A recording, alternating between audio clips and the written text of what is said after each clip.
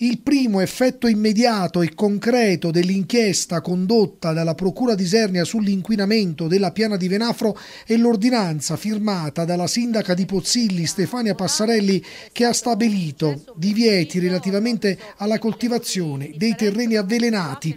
Con il provvedimento il primo cittadino ha deciso di sospendere l'attività agricola e di consumo di prodotti agroalimentari provenienti dai fondi contaminati. Sette gli appezzamenti piazzamenti individuati ed elencati nell'atto, tutti a destinazione agricola che attualmente risultano coltivati.